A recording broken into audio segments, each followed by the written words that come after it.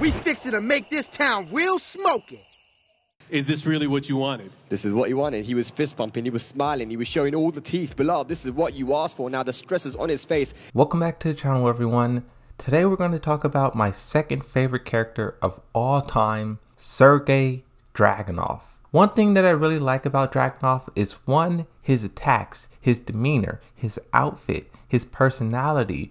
But I don't know what it is, but just like the sounds, the shrieks, the yelling, it's just music to my ears. That is what drew me into the character.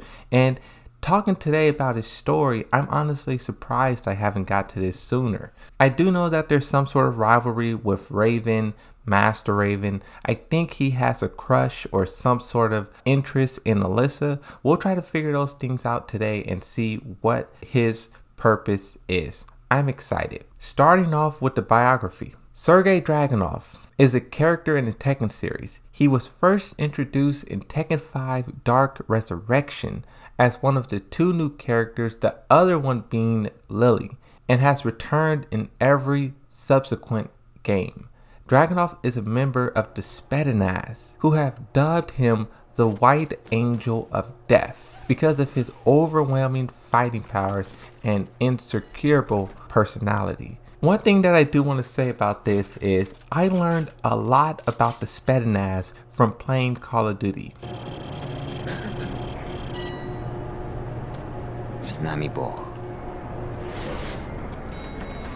Remember, no Russian.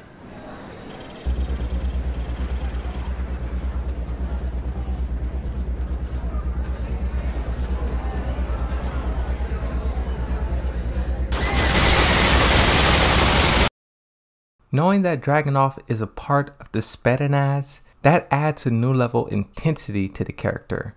Also seeing that he's the White Angel of Death, he's one of the most feared inside of this organization. That adds a new level of intensity to him as well. Talking a little bit about his biography and the personality. Dragunov is cold, calculating, and totally impassive when fighting opponents. Aside from a few lines of dialogue, Dragunov is an elective mute, barely uttering a single word throughout the entire series. This trend either annoys, confuses, or unsettles other characters. He serves his motherland with the utmost diligence and loyally follows orders when given. He also enjoys singing as a hobby as seen in one of his win animations where he's humming after defeating his opponents. You win. Now the part there where they say elective mute. He's not mute as in he can't talk, it's simply that he chooses not to talk. I have some screenshots in here of the few times Dragunov spoken. There's only, I believe, what did it say? So far in the series, Dragunov has only spoken 8 lines of dialogue, all of which are in the scenario campaign and 2 of which were only single word sentences. So I have here a screenshot of all the things he ever said. And it's very little, but what's so interesting about this too is one, the only time he ever spoken twice was to Devil Jin. To Devil Jin, Deviljin says, I was looking forward to tearing up some real troops. This has been a disappointment. Sergei Dragunov says, I've been looking for you. We'll see why in just a second when we get into a story. Devil Jin says, Are you the last? Hopefully you can provide me some entertainment. Sergei Dragunov says, You will not escape. The only other time he speaks this much is to Raven. Of course, they have some big rivalry. Hopefully, that's mentioned in the story and we can try to understand what's happening there. But what's the White Angel of Death doing here? So this is kind of cool. You can see that Raven is kind of familiar with this mythological soldier and is kind of surprised seeing this person roaming around wherever they're at. Continuing reading, it says Despite not being necessarily evil, Dragunov is very psychotic and unreadable. He shows very little interest in socializing with others, only focus on the mission at hand, and shows no mercy towards his enemies or opponents, and if provoked enough, will kill them if they are jeopardizing the mission. Because of these qualities, even his allies tend to be intimidated by his presence. And I kind of like this because like his gameplay kind of mirrors this. He's gonna beat him. He has to. Oh, he got that. Oh, you got to be Oh, careful. no. And that's something that you rarely get hit by, but JDCR ready Look at the it. time. Look at the time. He's going to have to either stay on the Look ground. at the time. Look at Oh, my No! God. JDCR with an Oh, amazing my comeback. God. He's from the future. He knew it. He's from the future. He's already seen it. And I think that's really cool to see how the developers are able to translate these personalities into gameplay and two how it's it's done so seamlessly. The part that talked about him not necessarily being a bad guy, I think this is referencing the tweet from Harada. He's a decent military man. That's in quotes. Not bad, not good, just decent military. And this is in response to someone saying, is Dragunov a good or a bad person? And this kind of goes back to the idea that there is no good and bad in war. In war, it's only your side versus the other side. I'm not really going to go into real world examples, but I'm sure you guys can use your imagination. Think about moments in time where both sides wasn't really wrong, but at the same time they weren't really right. This is what Dragunov kind of embodies in the Tekken universe. That soldier, that warlike mentality, where it's like you're fighting for your country, for your people, the motherland. You killed Dragunov. I'll kill you. Huh? Who killed Dragunov? What are you talking about? Do you want to die? Is Sergey tournament viable now? Come on, dude. You want me to insult you? What are you doing to yourself? Viable? We're right here. It says top eight. it says top eight right there, and there's two fucking Dragunovs. Thank you. Two of them. Now, jumping into the story, Tekken 5 Dark Resurrection. This is the first game where he was introduced, so I'm really not expecting much, but who knows? Maybe they will surprise us. A frozen land buried in a dense subarctic forest. While undergoing geological research in preparation for the development of natural resources. So they're mining, they're, they're about to start mining for resources, probably oil or something like that. And a nominal object is discovered below the permafrost. The military quickly calls special forces into action and the entire area is completely sealed off. The mysterious object is then transferred under absolute secrecy to a research facility for further study. Now this is kind of interesting here. What what is this object they find? They start setting up to I guess drill for oil or something like that and they find some thing in the snow. And this thing is so spectacular that they stop everything. They call in a whole different set of team, a whole different branch of government, and they start excavating this thing and they take it to some off the grid research facility. What is this? A month later, military headquarters receive an investigative report regarding the mysterious object and decides to order one of the men working at the dig on the what is that? Calistine mission? That man is Dragunov, a member of the elite special forces team who is feared in battlefronts throughout the world as the White Angel of Death. He acknowledged the mission with a silent nod and leaves for Japan. Oh, okay, what? What's happening? What's happening? So they find this thing in the ground and they're researching it for a whole entire month. And I'm guessing the Mishima Zaibatsu, at this point, I'm guessing the Mishima Zaibatsu has agents all over the world. Whenever something happens, the Mishima Zaibatsu somehow finds out about it. Christie, her grandfather had some sickness. They found out about that and they swooped in. Dragunov, the Russians, they have this object and they're doing the best that they can to keep it secret and they still find out about it. The Mishima Zaibatsu have some really good spies and they need to give those spies a pay increase. After finding out about this object, they do what? It says military headquarters receive an investigative report regarding the mysterious object and decides to order one of the men working at the dig on the Catalstein mission. What is, what does that mean? Clandestine. Illegal immigrants. Sometimes the Tekken lore they uses these super big words or not even big words, but it's just so wordy. You guys know what I mean when I say a sentence is too wordy and you kind of lose the meaning of what is I really don't understand this. It sounds like the Mishima Zaibatsu finds out about this object and they do something that triggers the Russian government to send Dragunov in response. I don't know what that something is to where they would think, okay, let's send Dragunov to compete in the tournament. You know, what did they do there? That's just a question. If someone knows, please answer. In the ending description, I'm guessing this is not canon because a lot of the ending descriptions aren't. Tekken 5 Dark Resurrection says scientists working for the Russian government have Devil Jin inside a water tank. Activating the tank, electricity flows from the tank Devil Jin is inside to a similar one in the opposite side of the room. Two glowing demonic eyes can be seen in the tank on the opposing side of the room. What is that? I need to see this. Hold on. Where is this at? Okay, so you can see the tank with Devil Jin, you can see the wings, you can see the scientists there on the left side. Are they creating their own Devil Jin soldier here? This part right here looks like the head. I can see a small silhouette of a head. And it looks like this is supposed to be a horn and that's supposed to be a horn.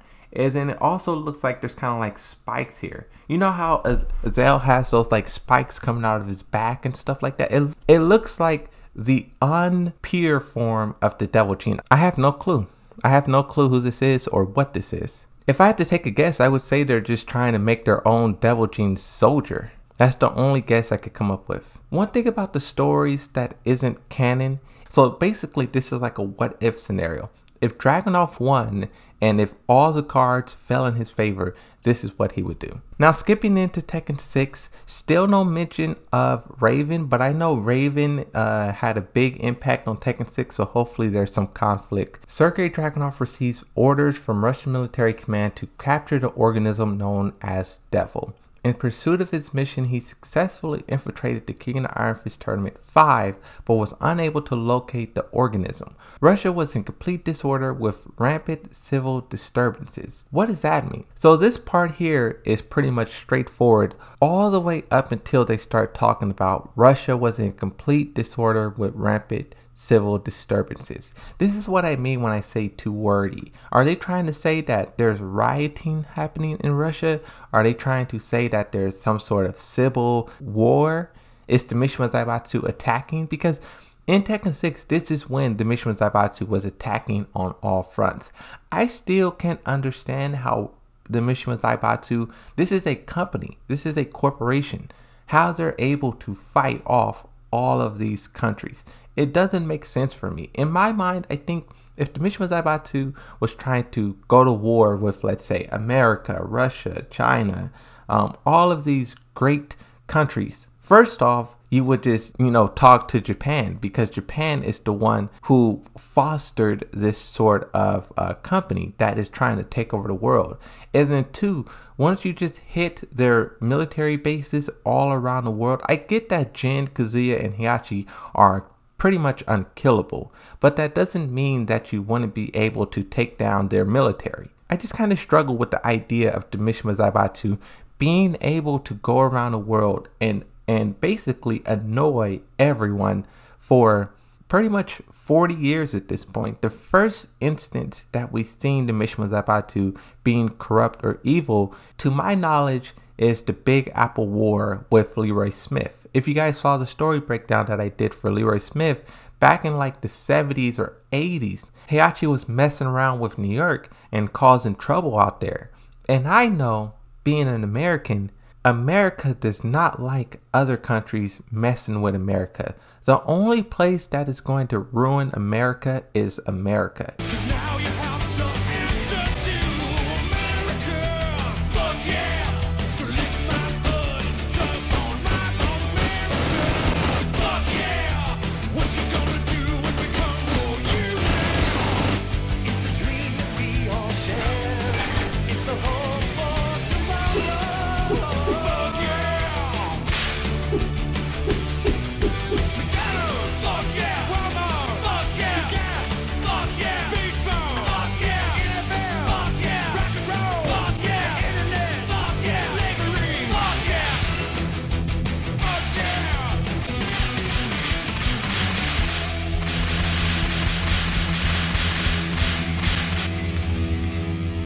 We're getting off topic.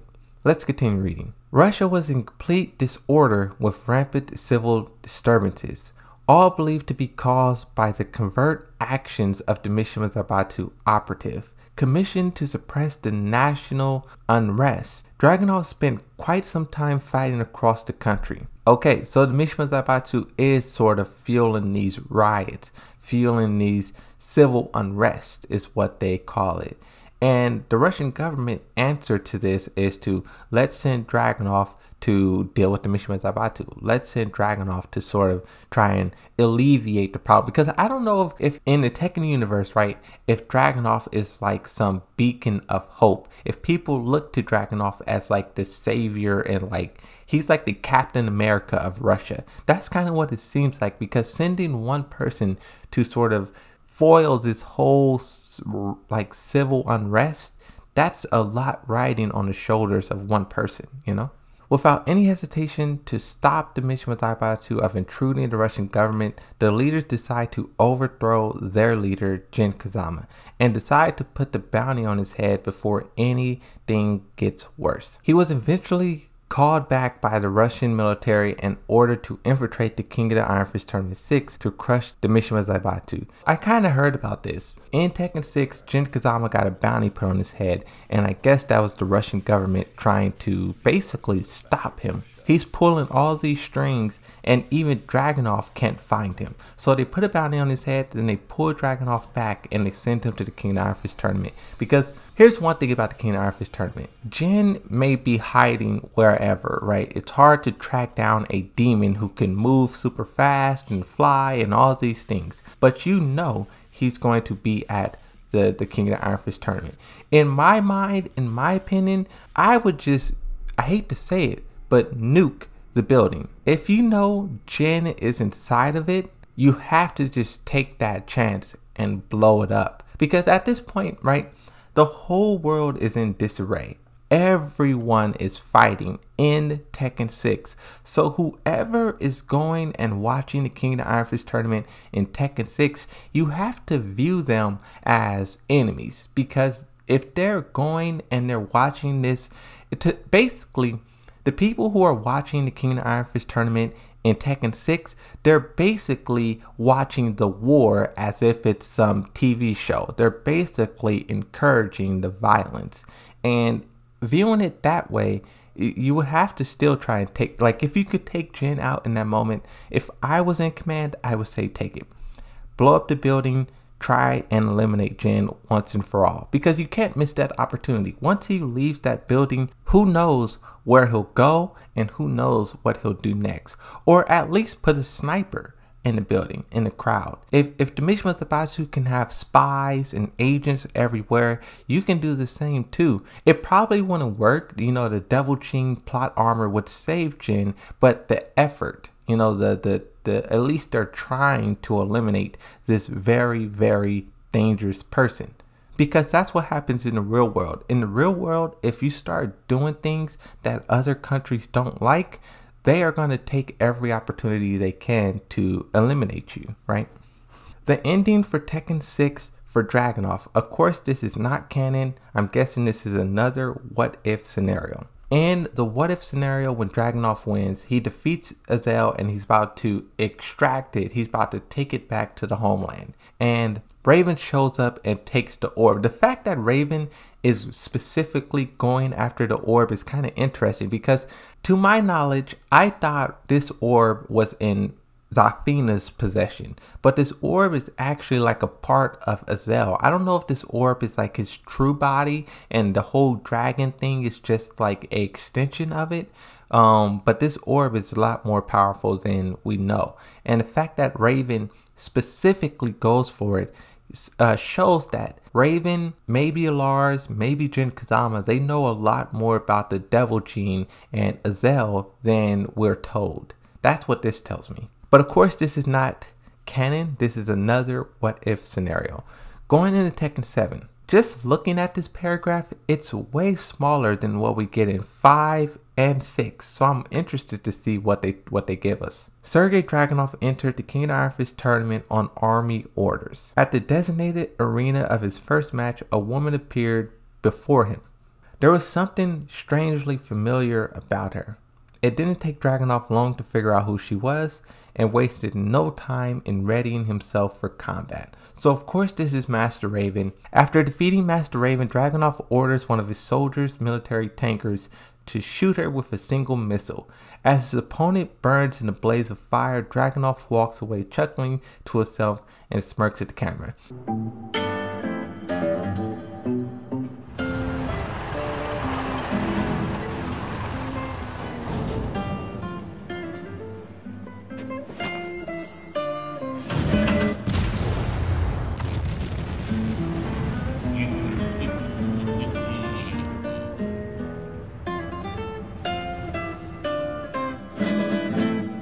Now, okay, first off, are tanks allowed in the King of the Iron Fist tournament? Once again, what are the rules? In Katarina's story, someone showed up with a gun and started shooting at both of them. Not only did they shoot at Katarina, right? The, the, the objective was to kill Katarina, but Gigas gets in the way and they just start shooting Gigas too. Oh my god. In this one, Dragunov gets a full tank, a whole entire tank. That means this tank was on standby. You know, you can have a soldier hiding in a box, uh, solid snake style, but a tank? Wow. And then how brutal it is. As his opponent burns in a blaze of fire. That means they didn't even hit this. They didn't even hit Master Raven with an explosive. They hit Master Raven with a incendiary rocket. They wanted her, they wanted to cause maximum damage and send a message. That's fascinating. And that kind of calls back to him being the white angel of death, him preparing this incendiary missile. Now, that's pretty much it for his story. Two big questions. One, still, what is that thing that they found in the snow way back in Tekken 5 DR? Two, what are they planning to do if they capture Devil Jin? That creature in the tank looked like some new Russian experiment. I would love to see that creature be made. Think about this. Okay, this is theory time, speculation time. I would love to see Jin face another Devil Jin creature. This is one reason why I want the Hydra clan to be reintroduced into the story because Jin is like the peak power. No one could, he's like the Goku of the series. No one can really touch him. But I want to see someone else with the devil gene. Maybe the devil himself. Or maybe a Hydra clan member. Someone who's on his level and maybe even better. I think it would be cool to see Devil Jin put in a position where he's struggling. Put in a position to where he can't just Devil Jin cheat codes his way to victory, right? But that's just a what if scenario that's going to be it for this story. I had a really good time reading this, even though there was a lot of things that's left unknown. I still think it's good. I'm interested to see what they... Actually, too, I don't know if he'll be in Tekken 8. I think Dragunov will be DLC, and I wonder what they'll do with his story if he is in fact DLC. Because what we know about DLC in Tekken 7, their stories is, is a little bit more thought out. Their stories isn't garbage like everyone else on the base roster. It's a little bit more expansive. So if he is actually on DLC, at least we could look forward to more answers in the story. But that's going to be it. No more extensions, no more ideas. Thanks for watching. Hopefully you enjoyed this. Like and subscribe. Check out some of the other videos that I made, but that's going to be it. See you next time. Bye bye.